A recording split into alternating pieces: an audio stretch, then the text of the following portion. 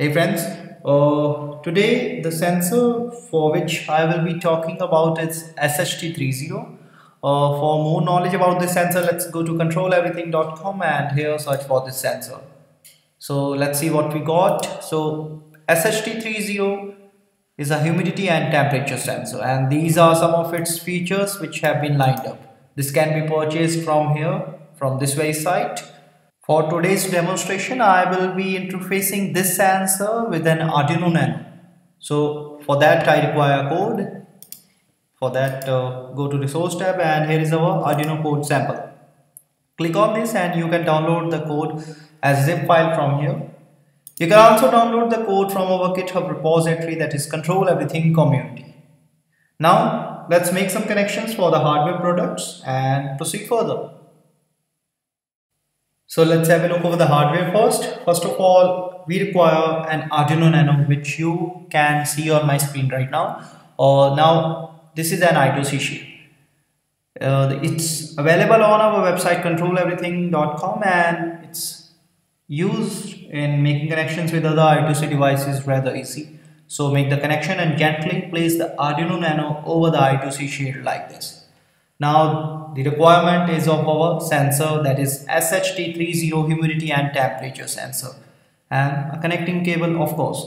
Now make the connection of the cable and the sensor like this and while making this connection make sure that the brown wire of the cable should be connected to the ground terminal of the sensor and same has to be proceeded for the shield.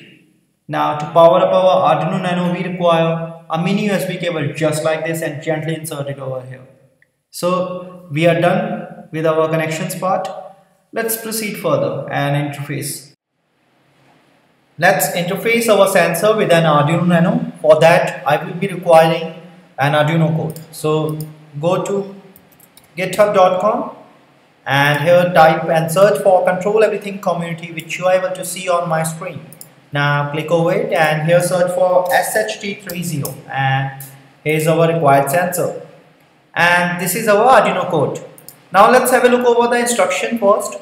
We have to download and install the Arduino software ID on our local machine and this is the Arduino link which will help us to install Arduino step by step. So have a closer look on this link. Now get back to our code and here is our required code.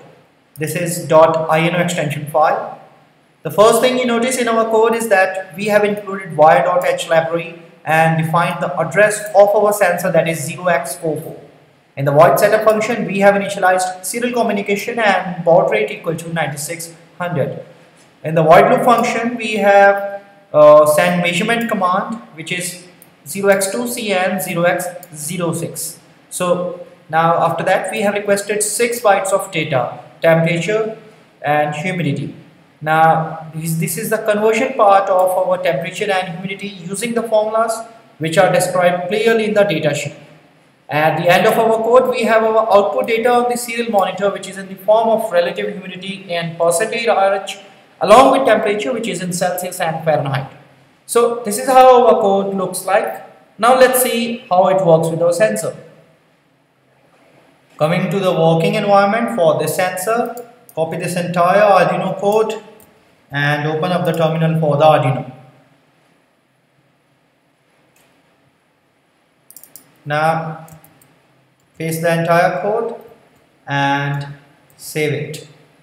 Now the name of the sensor is there for the reference and now verify and compile this code.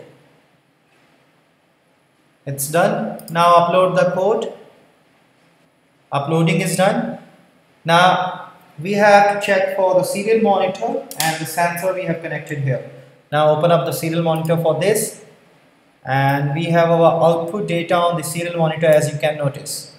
Now when I press my finger over the sensor as you notice relative humidity and the temperature changes. Now again pressing the finger change in relative humidity is in percentage RH along with the temperature in Celsius and Fahrenheit scales the change is being constantly monitored. So this is how Arduino code works with the sensor. Now let's proceed further. We have just seen the working of humidity and temperature sensor SHT30. This sensor is fully calibrated linearized and temperature compensated digital output sensor. This sensor has a new CMOS sensor sensor chip which has increased intelligence, reliability and improved accuracy specifications. These are the features by which it can be applicable for consumer electronics, wearables and mobile market. This sensor can be purchased from our website that is controleverything.com and the Arduino code is available on the same site. You can have also the Arduino code from our GitHub repository that is Control Everything community. For any queries, you can reach us on controleverything.com and be sure to post your comments, your queries on our community page. For articles, blogs, you can contact us on instructables.com and for video tutorials like this, you can subscribe our YouTube channel. In the end, you have a good day and thanks for watching.